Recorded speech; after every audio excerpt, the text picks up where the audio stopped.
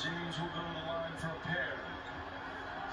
When he lowers that shoulder, there's really nothing you can do as a smaller player. You may think it's not a foul, but if you're not in position he lowers the boom with his shoulder, still a foul on you. He understands that. That's why he's been aggressive the last couple of plays. CJ McCollum picks up his third foul. LeBron James at the line, four out of five.